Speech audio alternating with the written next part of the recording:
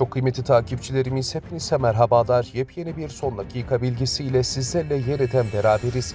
Bizlere desteğinizi sağlamak amacıyla önce kanalımıza abone olmayı, bildirim zilini açmayı ihmal etmeyin. Türkiye, Suriye ve Irak'ı resmen yıktı.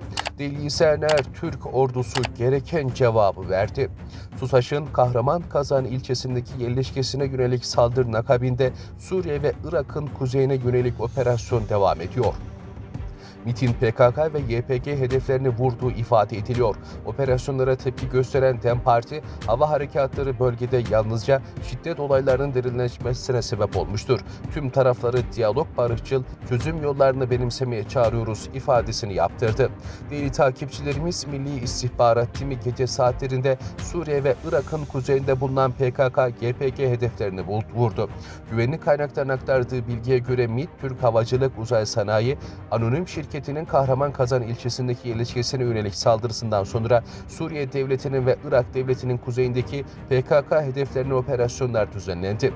Operasyonlarda PKK'ya ait enerji altyapı binası, lojistik mühimmat deposu gibi çok sayıda stratejik nokta hedef alındı. Kıymetli izleyenler devamında ise DEM Parti Merkez Yürütme Kurulu operasyonlara ilişkin bir açıklama yaptı. Sivil yaşam alanlarına yönelik başlatılan bombardımana derhal son verilsin başlığıyla beraber yapılan açıklamada şöyle devam edildi. Ankara Kahraman Kazan'da bulunan TUSAŞ yerleşkesine yönelik saldırıdan sonra başlatılmış hava harekatları bölgede yalnızca şiddet olaylarının derinleşmesine sebep oluyor. Kuzey ve Doğu Suriye'nin birçok merkezine özellikle Kobani'ye yönelik bombardımanlar sivil halkın yaşamını tehlikeye atmaktadır şeklinde alçakça bir açıklama yapmış oldular. Değerli izleyenler ilerleyen saatlerdeki videolarda buluşmak ümidiyle.